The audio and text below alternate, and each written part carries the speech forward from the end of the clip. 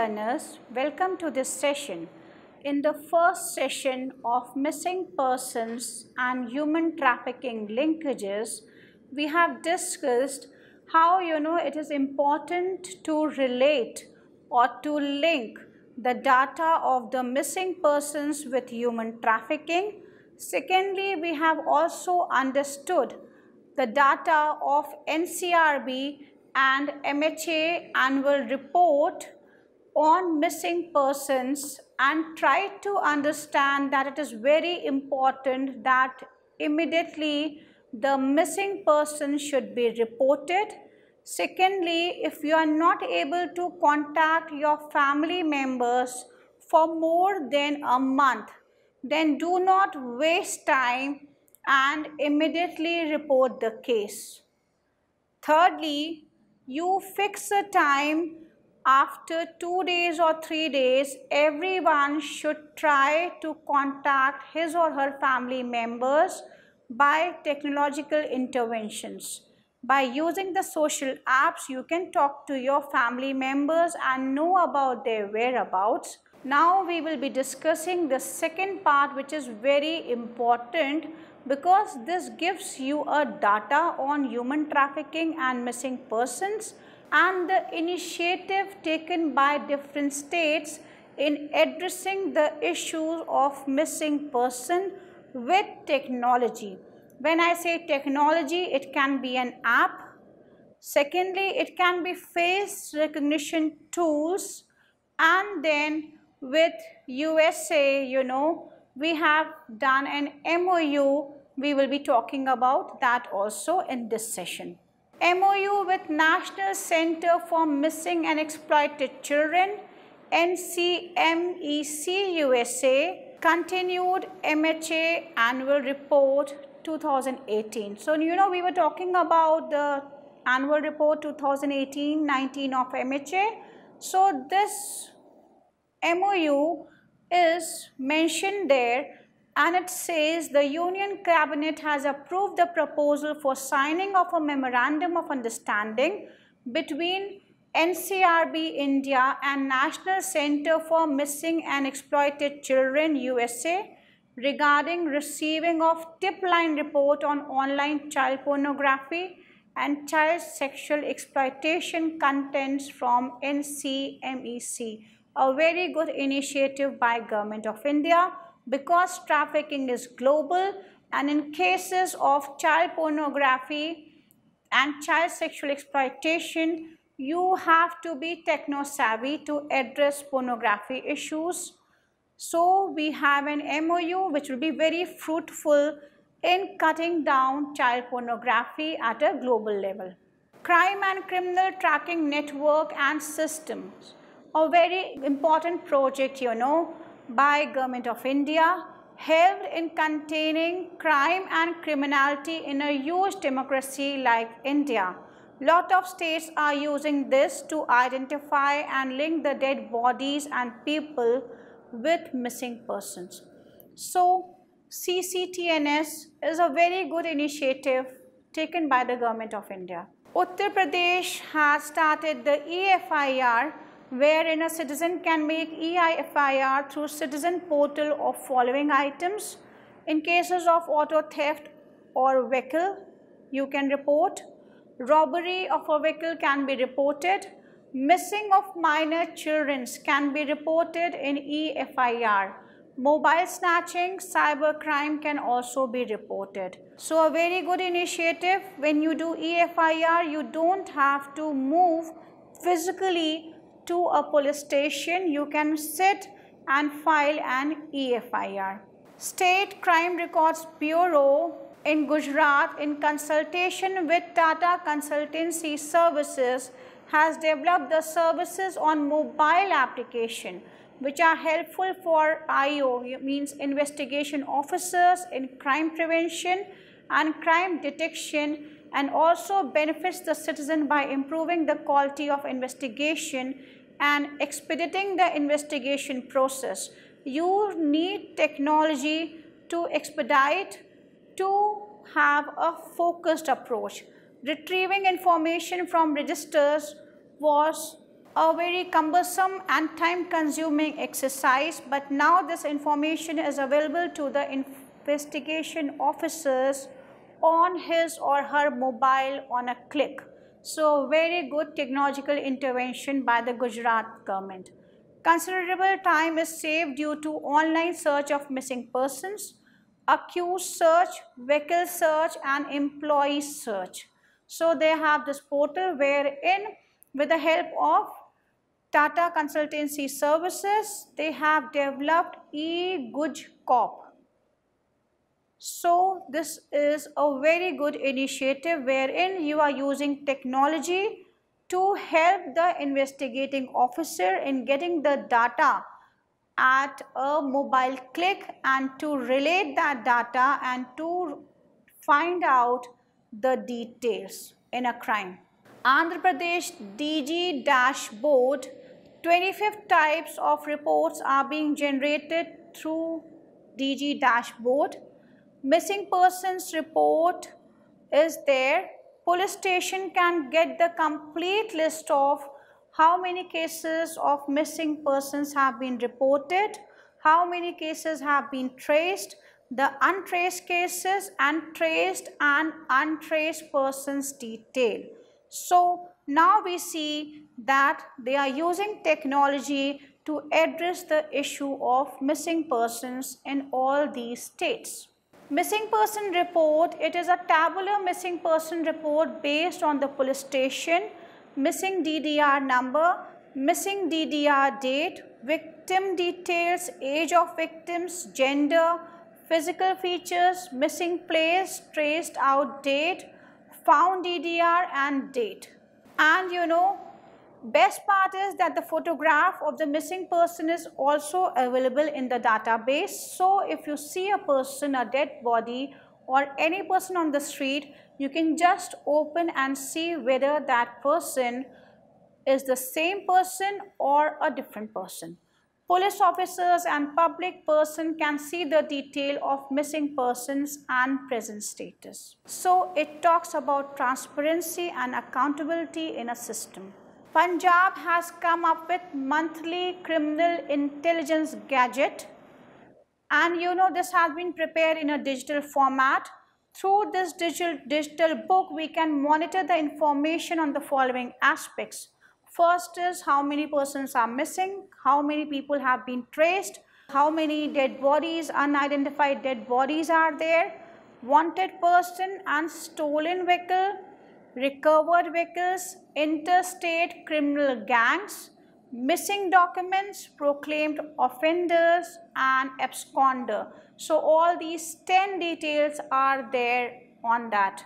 Then out of the 10, Following six reports are getting generated through CCTNS data. First is the missing persons data, second is the trace persons data, then unidentified dead bodies data, stolen vehicle data, recovered vehicles and proclaimed offenders. A very good initiative by all the states because you know this data can be accessed by any of the states and they can work collectively in addressing the issues of human trafficking and missing persons. Uttarakhand has a dashboard which has following modules, daily crime digest, road accident report, e-grievance, accused vice crime search, all COG cases, missing persons, crime review, enterprise search, etc. Delhi police, you know, has upgraded the latest version of core application software CAS workflow improvement. So a very good initiative by the Delhi police. The GD has been made real-time basis. So GD, when it comes to real-time basis, it saves your time, energy, it you know caters to all the man malpractices and then it is more transparent and a document which can be used because you know you cannot temper it. So timestamp of central server is reflected in the GD entries. This has done away with the manual GD register. at the police stations. So it is very important that when you have a technology and you use the technology, so everything is, you know, online, everything on the real time basis. This has brought real transparency in the police station working and any possibility of manipulation in the date, time of GD entry has been removed completely since all the registration, FIR, NCR, missing persons, MLC, UIDBs, etc. is linked with the GD entries. Hence, all registrations and investigations are being done on the real-time basis. A very good effort by the Delhi police. Automated facial recognition system. I would like to say that Telangana has done wonderful uh, you know, job in addressing the issue of missing person. Powerful tool was launched on 2nd August 2018, first of its kind criminal detection tool in the country.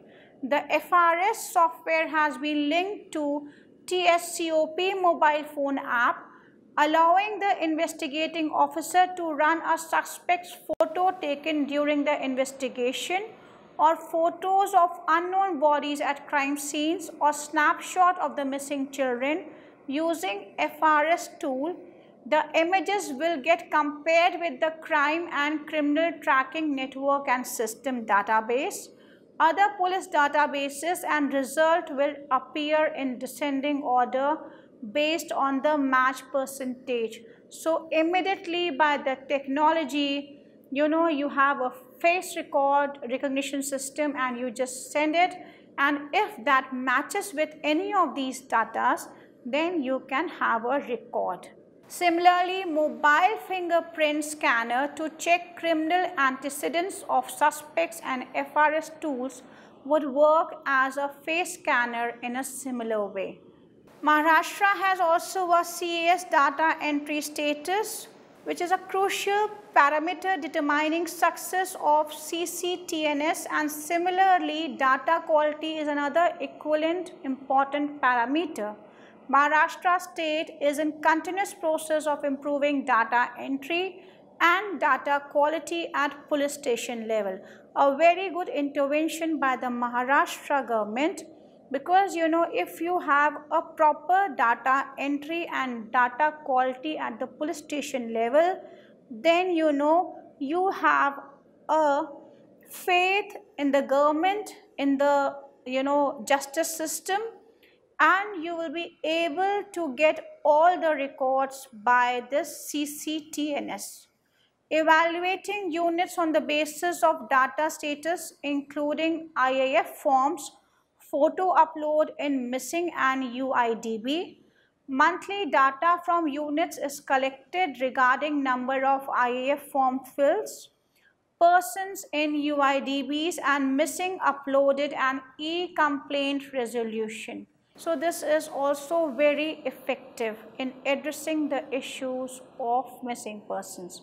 Units ranking is done on the basis of data entered Data quality check activity is conducted where police units are selected on sampling basis. So, you know, you also have a check, you are monitoring it by, you know, selecting the units on sampling basis. Sample data X, regular offenders and Y crime record is selected and name based data quality check is done. So a very good initiative by Maharashtra. Increased success stories from units including preventive actions and crime analysis. There is 100% data entry in CAS. Photo uploading in case of missing persons have been increased. Person matching UIDBs and missing person has been done in lot of cases. You know so we have seen all these state interventions and we have understood that they are using technology to address the issues of you know finding out that whether if you find an unidentified dead body then then you just see the data of the missing person, relate it with that unidentified dead body and if that matches, then you can contact the family members and give them the dead body for burial purposes. So, it imposes faith in the government system. It imposes faith in the entire system of criminal administration because you know by EFIR you have taken all the manipulations away from that system. So when you EFIR then you know you don't have to visit a place physically you can just sit on your laptop on your ipad or on your mobile and file the complaint if you see all these state uh, organizations then every state has a website so on that website you can also get all the details related to the crime in that state. Secondly, you will get all the details as to what you can do to e-file a case. So, in cases of theft, in cases of, uh, you know, offenses against property or against person, you have to just do an EFIR. You can think about the benefits of EFIR in terms of a population which is illiterate, in terms of a population which fears from going to the police station, in terms of the population which does not have time to go to the police station to report the FIR. So many times you must have seen that you know in petty offenses or in small small cases or even in cases of theft etc or you know the offenses relating to person we do not go to the police station thinking that you know it's okay. We were at fault. We left the house unattended so somebody came and then theft has taken place or you know somebody has stolen my phone it is okay. Or somebody has you know slapped me it is okay he belongs to my family. So in these cases you have the benefit of sitting at home and doing EFIR even you know if anything happens even in, in a case of accident you know you just sit in your car and dial the number 112 and the police PCR van will come to you they will register then they will send that case to the local thana and from that thana you will get the copy of your EFIR so the entire FIR process have been simplified keeping in view the needs of the people. But still people are not aware about the EFIR. I have talked about, you know, the face recognition system.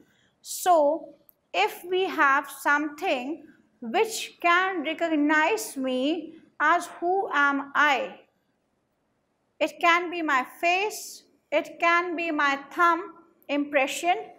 It can be my eyes, iris, you know.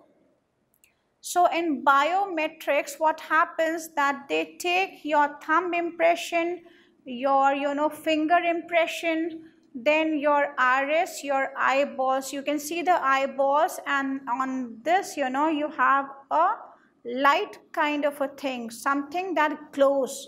That is your iris. So every person's iris is different.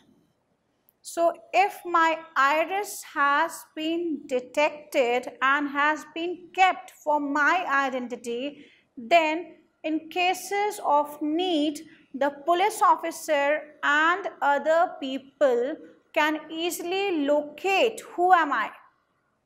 Many a times, you know, when we move out from the home, we do not carry our uh, voter ID card, our Aadhaar card or our wallets even. For ladies, it is very common. Even if we carry the purses, you know, we don't carry these papers. So in cases of need, in cases of any accident or anything which happens wrong, then if we are not able to speak up, the paper will speak. And suppose if you do not have that paper with you, then who is going to tell you? Or who is going to tell others? In cases of accident, you know, many a times when the person is taken to the hospital, if that person does not have papers with that, uh, with him, then it is very difficult to locate that who that person is. And we have seen very influential people going for morning walk and you know after uh, suffering from some offense or maybe a heart attack or something and then you know they collapse or they are taken to the hospitals on in the hospitals the people and the police the doctors and the police are a, not able to track the identity of that person so that person is kept in the hospital under medical treatment. The family, if the family does not report missing case, then the police officers also will not be able to know and after three or four days if the person does not survives then that person's body becomes unidentified person's body. So, you know, it is very important that everybody should have a data. I am saying this statement with a conviction not in favor of any government or against any government, but you know, if you have yourself registered if you have your data which can be taken away, my thumb impression is registered in Aadhaar. So even if I do not carry my papers and something happens to me, I am not able to speak still. My thumb, my, you know, my fingers will be able to be traced by the Aadhaar format and then people will be able to know who am I in case I am not able to speak. Then two things are very important. I will request all the learners to take care. Whenever you move on the roads, be cautious. Do not just, you know, take your mobile phones and talk to people and keep moving because, you know, lot of people who are traffickers or who are habitual criminals see you as a prospective client for them or a prospective earner for them. So your body has a value. You have so many organs in your body. So even if I do not wear jewelry, even if I do not wear gold and diamonds, still my body is precious for a trafficker even if I do not wear gold and jewelry, still my body is precious in terms of, you know, labor. So I can work for long hours for a trafficker and, you know, earn a good living for that trafficker. Thirdly, in pornography, in sex trade, in offenses against, you know, a body, the trafficker earns from my body. So a trafficker can sell a person, can purchase a person. So it is very important that whenever you all move in public, be careful. You know, I often talk about an advertisement which is uh, talk as you walk. Do not please talk as you walk in public spaces in spaces, you know, where, you know, you have uh, strangers coming and going. You can do talk as you walk in your garden. in your society park if that is safe and properly guarded society. Otherwise, you have to be very cautious about some stranger movement around you. So be alert, be cautious and in terms of relating missing persons with human trafficking, if anybody is found missing in your family, in your society, then do report about that case and don't think about your reputation for a, for a few minutes. Do not think about your ego or your society or your community for a few minutes because that human life has a value and has dignity and worth. And you as a guardian, you as a parent have responsibility to protect that human life. I will request all the children listening to me that you know parents are the best people on earth. They will scold you, they will beat you, they will you know uh, maybe sometimes also abuse you but they will not do anything which is against your well-being. So never think about running away from the home Secondly, I would also request the parents that give them space to grow and develop. I am not a doctor, my father was a doctor. In my family, there are so many doctors. But when I came to this profession, I was throughout topper and my mother used to think that maybe law is not the field for the girls at that point of time. But my father always said that do whatever you want to do because if you have that choice of growing and you know doing whatever you want to do then you will develop and prosper. So parents do not think that if you are a doctor your son or your daughter will become a doctor. Or you are a throughout topper then your daughter or son should be throughout toppers in their life. It is that when you give them opportunity to grow and develop they will prosper they will you know bloom. If you give them something which is as per their choices to do then they will develop and they will develop to their potential. So as parents we have to give them time we have to give them space we have to take care of them we have to monitor them. Very important thing we have to monitor them. Because you know if we do not monitor them then in case of technological interventions and the technology world which are you know which is our day-to-day -day life we have a lot of vulnerability issues in terms of technology and the traffickers sitting throughout the globe are able to see you on your social platforms. So do not post your personal details on the social platforms, your children photographs because the child may become vulnerable if you post the videos, the audios and the photographs of your child children. So be safe if you find any case of missing person or missing child, do report it to the police station. You can also file EFIR. All the states are doing commendable job in addressing the issues of missing person and relating them with the cases of human trafficking and unidentified bodies. But we have to come forward in community policing and be a part of a social change. Stay safe, stay healthy and have a good time. Thank you all for listening.